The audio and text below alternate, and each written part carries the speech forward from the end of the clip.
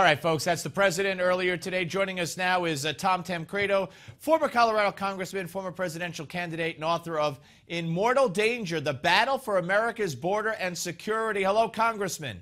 Hello, sir. How are you? I'm all right. All right. The president speaking today about the two issues. First, let's you and I get to the uh, the, the, bill being debated still as we speak uh, by the Republicans in the in the House. Um, should they pass anything, or does not the president have the authority uh, to fix this on his own without spending all this money?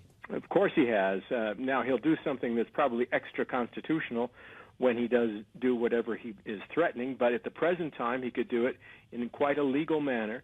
There is uh, every, you know, all he has to do, of course, is say to, for instance, Mexico, that if you continue to allow this this migration through your country um, and facilitate the invasion of America on our southern borders, we will withdraw all financial support and aid for you in any any way. Then you tell exactly the same thing to all of the other countries from which these children are coming, and you tell the ambassadors to those countries to inform their host government that indeed all these people are coming back. Um, they'll be on the plane soon, and or by other means of transportation. There better be somebody there to meet them because they're coming back. And of course, all this posturing, uh, uh, passing a bill now in the House. The president already said today that. Um, right now the Republicans are debating uh, the, the most extreme, unpassable version of the bill. He says it'll never pass the Senate, and if it did, he wouldn't sign it. So uh, this is more theater than anything else, is it not? It is absolutely that, and people have to understand this. And you know, not just general audience, the people we're talking to,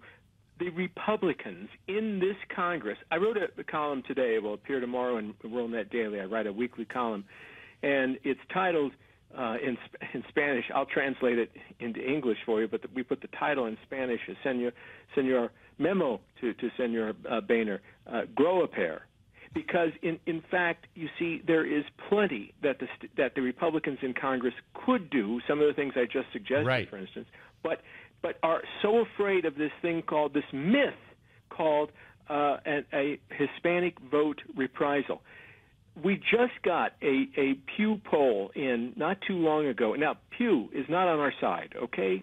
Pew Hispanic Trust, that's generally where these things come from. They don't write things that, that slant right to the right.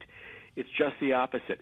Their own poll shows that a majority of Hispanics in this country oppose this activity on the border, oppose the, the continual uh, uh, invasion, and want, by a majority now, want a swifter action on the part of the government to return these kids to their home. All right, that, so, that, I, that, I'm glad you brought that up, but I also want to get to, in the time we have left, uh, Congressman, the president also, you heard him say that uh, while Congress is on vacation, I'll have to make tough choices uh, with or without Congress. We have a minute left. This is referring to the, uh, the, the broader immigration issue where we many expect him to sign an executive order granting amnesty. He will do exactly that. And, and I mean, there's no two ways about it. He is posturing for it. It's preparing for the next. He, you know what? Remember, remember the the adage that was so often quoted in his administration, and that was never lose the never um, lose the advantage that a crisis gives you.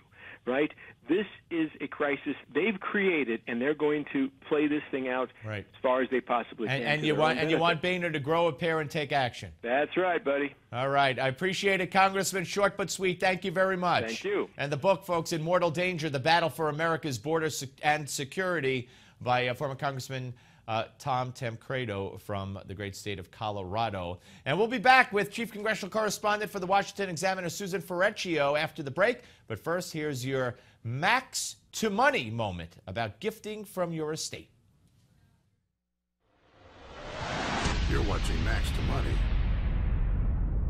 It's better to give than to receive, so they say. But when it comes to your taxes, giving or gifting could save you money down the road. The benefits of annual gifting is you get some money out of your estate systematically every year. You can give $14,000 to a child, or if you're married, you can give $28,000 per person.